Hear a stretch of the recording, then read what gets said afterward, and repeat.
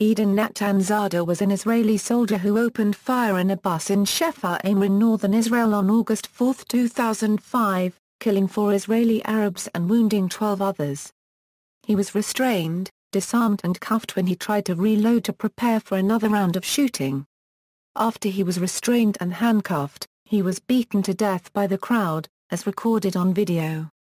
It has been inferred that the shooting was a personal protest against the Israeli government's disengagement plan, since an orange ribbon was found attached to Natan Natan-Zada's pocket. No group had taken credit for the terror attack and one official in the settler movement announced it.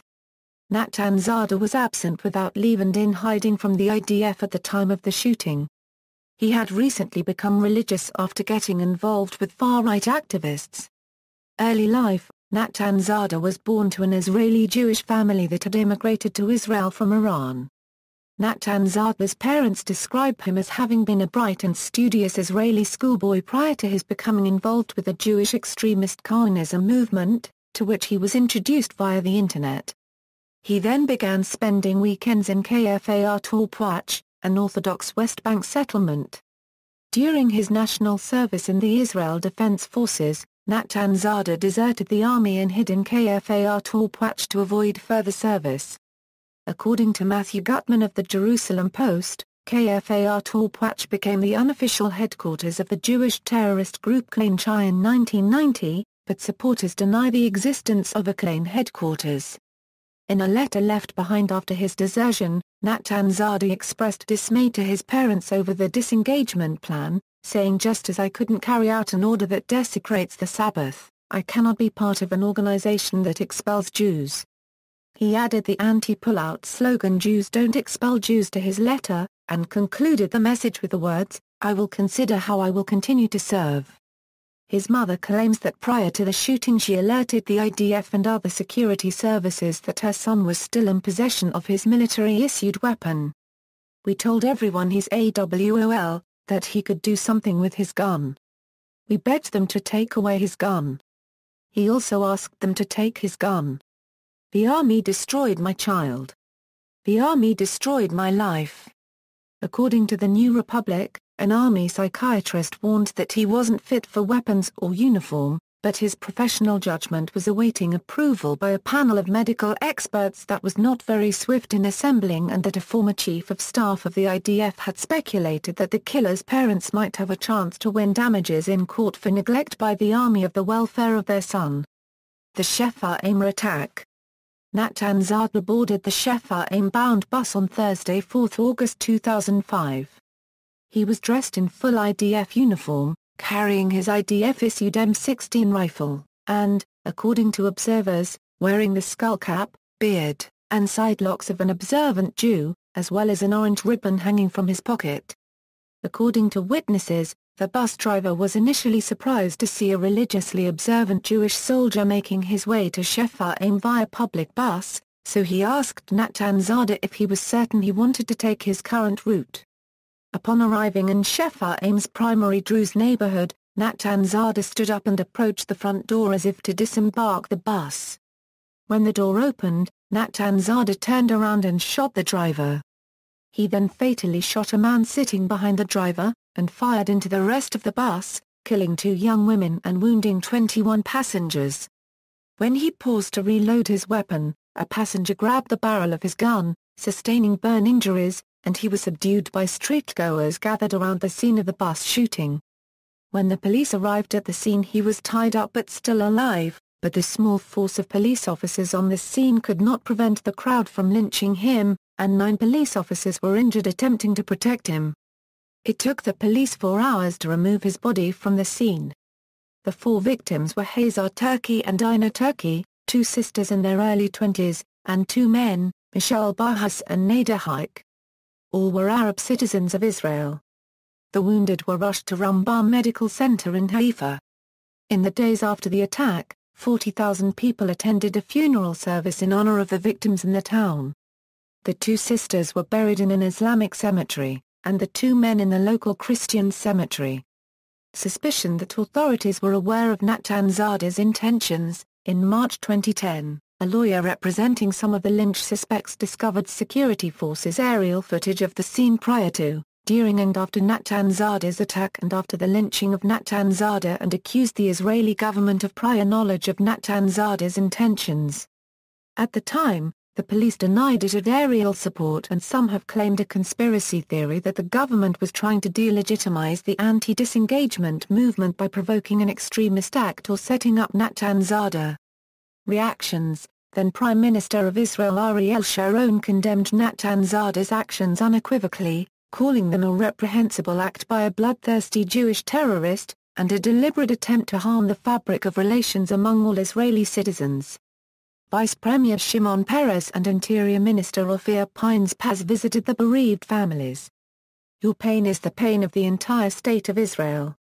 We will not allow crazy men and terrorists to harm your life here, Peres told the families. Sharon's government has consistently referred to the shooting as an act of terrorism language usually reserved for Palestinian suicide bombers. While the Israeli government and U.S. State Department both consider groups based on Kahanism to be terrorist organizations, Kahanist advocates insist their ideology only advocates the forced removal of Arabs from the land of Israel, not murder. Investigation and trial The Israel police opened a criminal investigation into Zada's lynching the High Follow-up Committee for Arab Citizens of Israel called on the government to refrain from investigating the death of Eden Natan Natan-Zada. Arab Knesset member Mohammed Barakeh, a Shefa-Amr resident himself, warned that protests could erupt if police probe Zada's lynching. Normally when someone stops a terrorist from continuing to kill he is considered a hero, but in this case it is the heroes who are sitting on the defense stand. However, Shefa-Amr's security officer, Jamal Eliam, told Army Radio that Zada had been attacked by dozens of people after he had been handcuffed and subdued by police. Eventually, on June 13, 2006, five suspects in the lynching were arrested, one who was already serving a prison sentence was brought in for questioning, and a seventh suspect turned himself in after learning he was wanted by police. The police said, We're responsible for maintaining the law, and you can't take the law into your own hands even when it concerns a terrorist who murdered innocent people even though he made a heinous terrorist act. Two suspects were subsequently released. There was general support for their arrest and even left-wing activist Yossi Beilin said, Israel can't put up with a lynch made on a handcuffed person even if his actions are heinous and unforgivable. It's a combined interest of both Jews and Arabs that Israel won't close its eyes to such behavior. The Arab Knesset members however demanded their release and called their arrest a crime. On June 7, 2009, 12 Arab citizens were indicted over the lynching in the Haifa District Court. Seven were charged with attempted murder. In March 2010, Mehat Alhami, their defense lawyer, stated that recently discovered aerial footage of the bus, recorded by an Israeli drone before, during and after the attack took place indicates that Israeli defense officials were aware of Natan-Zada's intentions. In July 2013, the seven defendants charged with attempted murder were acquitted of that charge, but four were convicted of attempted manslaughter and two were convicted of aggravated battery, while one was exonerated entirely. The sentencing took place on November 28, 2013. Three were sentenced to two years in prison, while one was sentenced to 20 months, one to 18 months, and one to 11 months. Burial controversy Natan-Zada's funeral was a controversial matter. Jewish law requires a swift burial, but nationwide outrage against his attacks left his body without a willing resting place for two days. An initial agreement between IDF officials and the Natan-Zada family would have allowed burial in a military cemetery but with no military honors such as a 21-gun salute or placement of the Israeli flag upon his coffin. However, Meir Nitzan, the mayor of Rishon LeZion intervened before the funeral.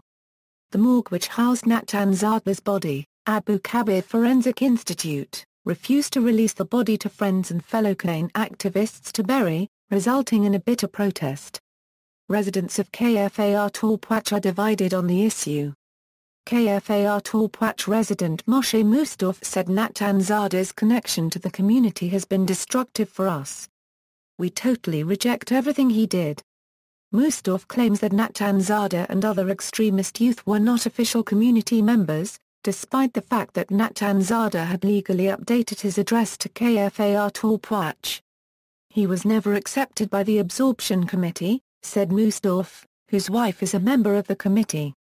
Others supported Natan Zada, including four teenagers from Tapuach who were arrested following the incident.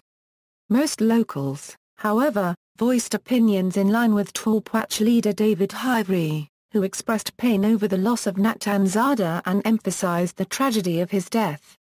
Some Israeli media outlets initially suggested that Natan Zada be buried in the West Bank settlement of Kiryat Arba, where Baruch Goldstein, who committed Cave of the Patriarchs massacre 11 years earlier, is buried. Natan Zada's body resided for two days in the Abu Kabir morgue, pending an appeal to Prime Minister Sharon by his parents. On August 7, 2005, the Prime Minister's Bureau overruled Meir Nitzan's ban against burial in Rishon LeZion, and decreed that Zada should be buried in the civilian cemetery there. He was buried in the Gordon neighborhood. Because of the delays, Natan Zada was buried two days after Jewish law allows. Three of the hundreds of mourners at the burial were arrested with administrative arrest orders, including New Kach leader Ephraim Hershkovitz, American citizen Saudia Herskov, and former Kach activist Iron Polak's son Gilad. Victim compensation After the event, the Israeli Defense Ministry ruled that the four Arab citizens shot dead were not victims of terror because their killer was not part of a terrorist organization, and are thus not entitled to the usual compensation for life lost due to terror attacks. According to Maayan Malkin, a spokeswoman with the Israeli Defense Ministry, an attacker must be a member of the enemy forces against Israel to be considered a terrorist under the law.